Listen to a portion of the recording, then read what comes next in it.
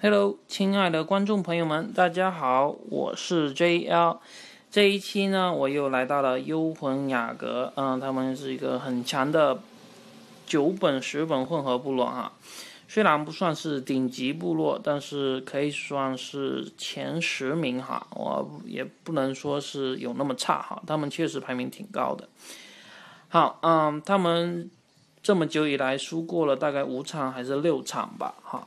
所以整体来说还是很强的，觉得跟雷利差不多吧。啊，雷利的呃九九本十本的那种啊，不是主门哈，分门差不多。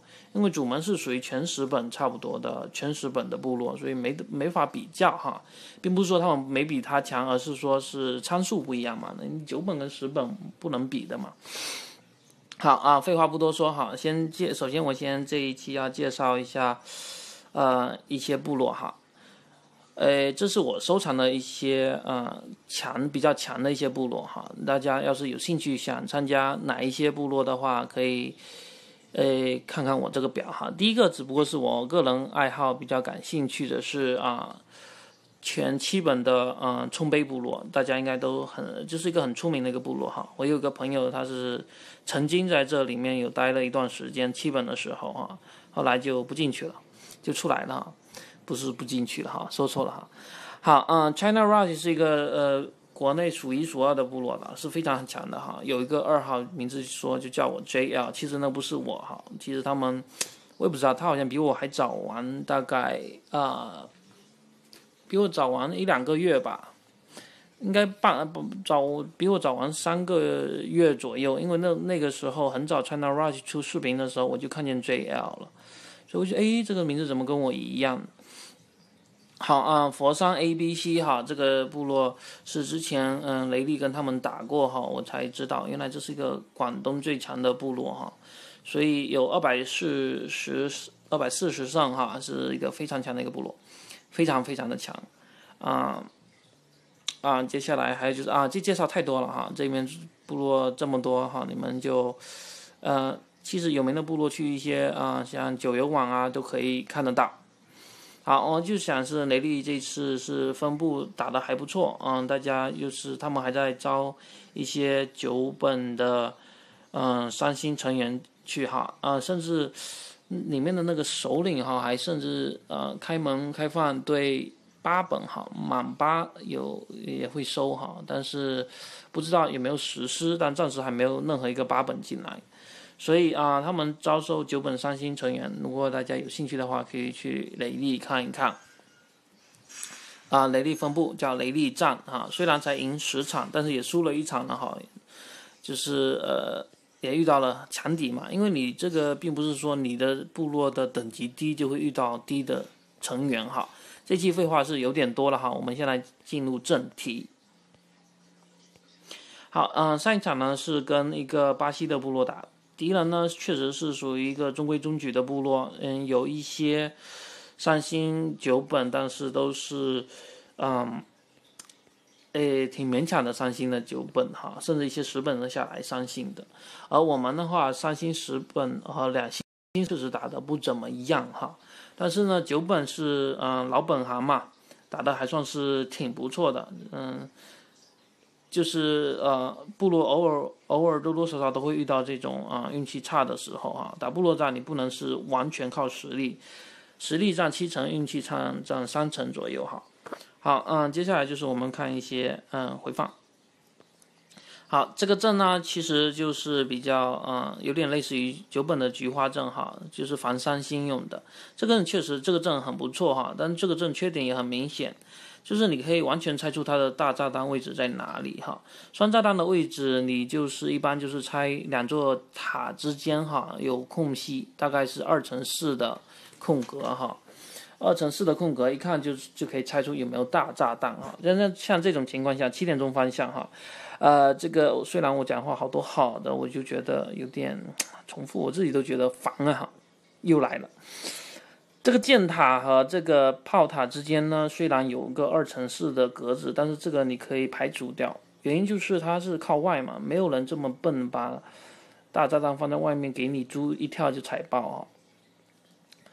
最大的可能性就是在连弩和这个箭塔之间，还有这个连弩和防空炮之间，这个防空炮和这个吹风机之间呢，也有可能哈，但是我们不能排除掉，因为这之间确实是是还好，没有说很好的一个位置，但是呢，最经典不是经典，是最常出现的位置，就是可能就是这两个位置，就是在十点钟方向和四五点钟方向的位置。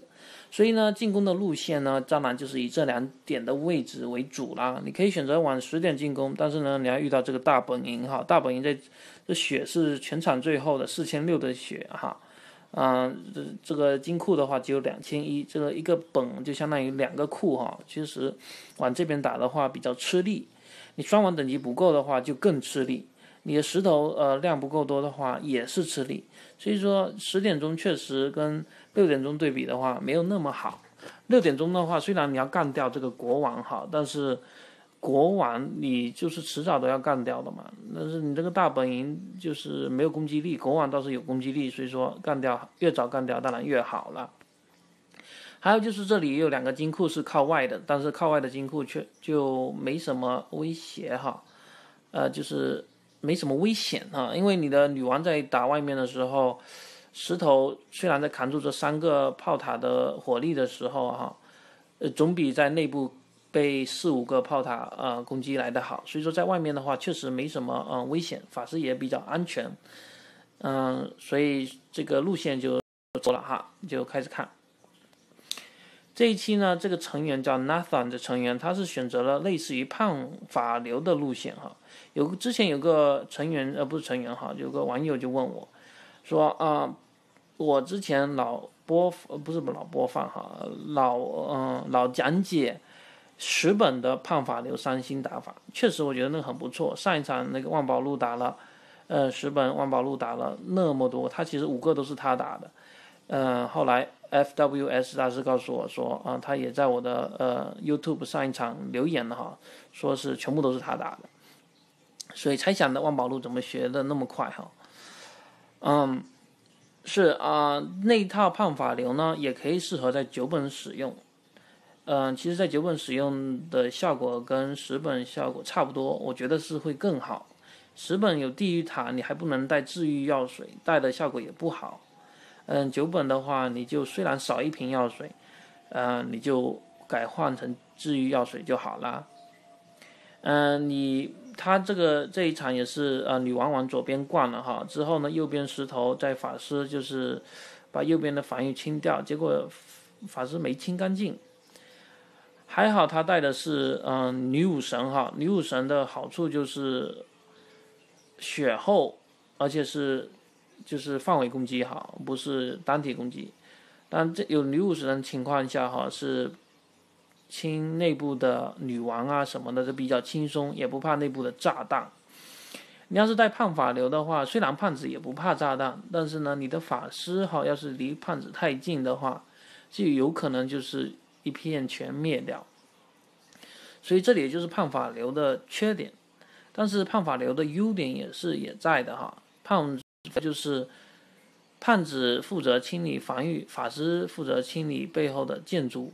这样子两个呃搭配的速度哈，完全比呃女武神流来的快哈。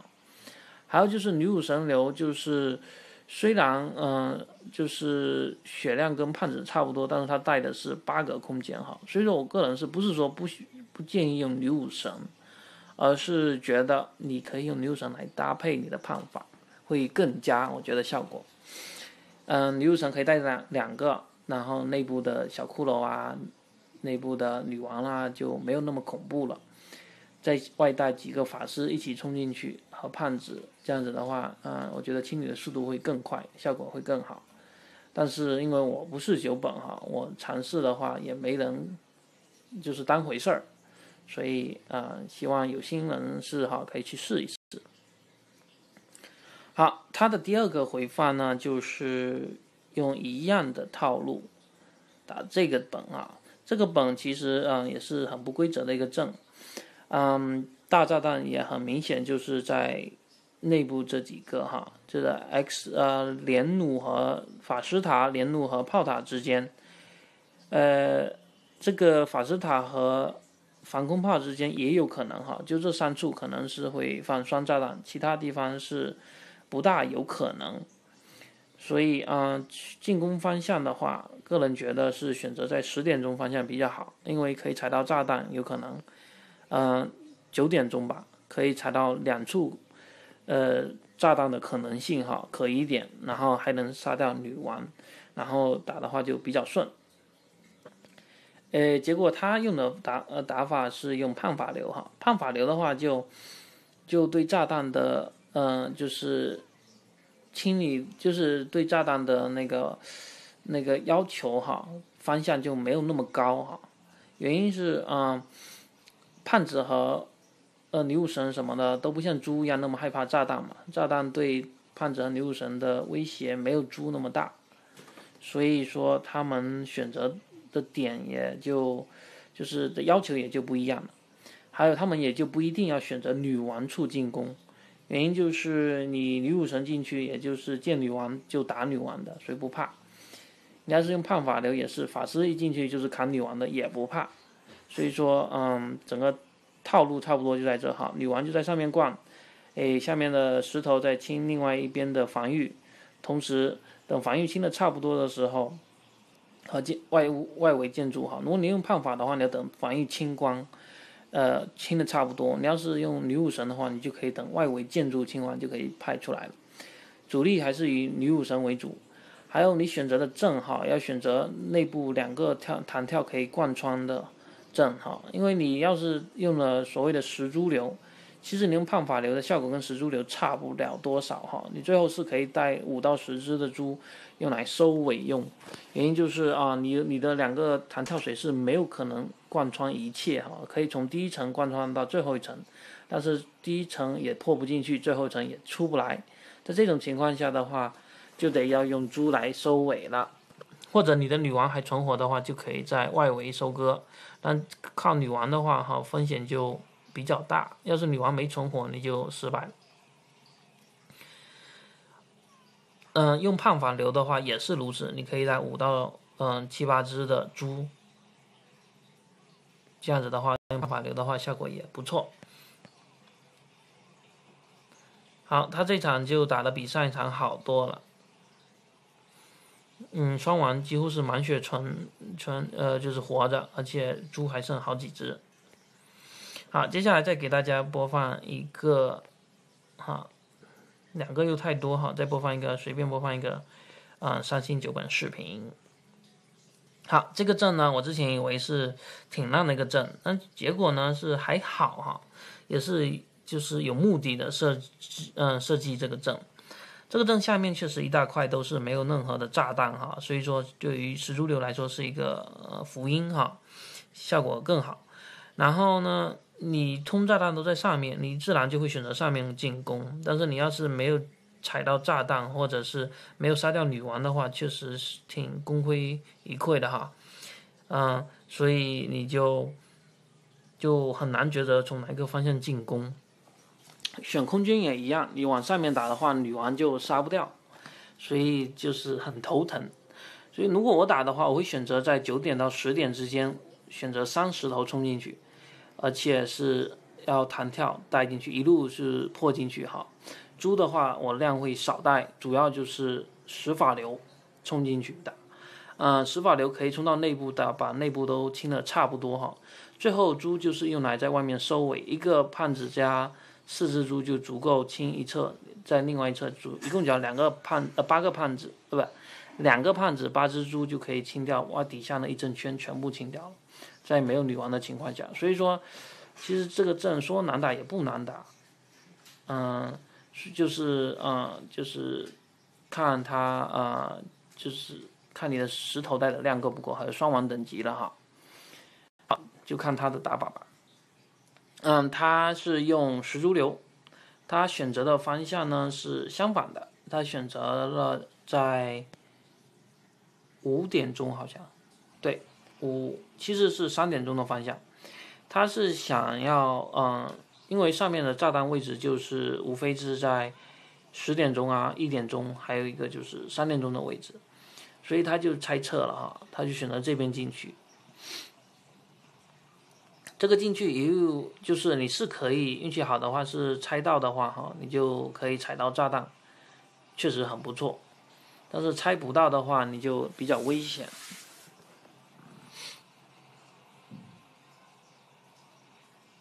哎，如果是我的话，我就一个弹跳直接就进去了哈，就就省下这个炸弹的空间。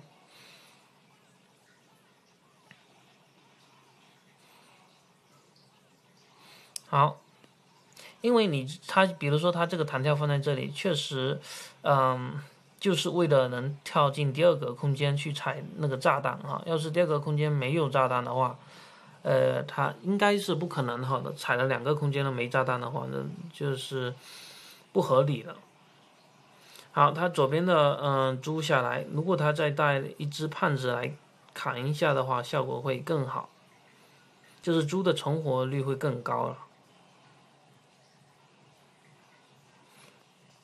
当一只胖子挡住的时候呢，你的猪就没有死的那么快，你的治愈药水也不会那么急着下，就是整体来说，就是非你三星九本就变成非常轻松啊。用点猪流的话，好嘞，他的双王都活着哈，嗯，这个比想象中的来的好，嗯。也说了，下面这个一些建筑就是防御塔，在大本营外围那一圈的防御塔确实比较稀疏哈。你也可以像他这样子带几个气球，也可以把它砸掉。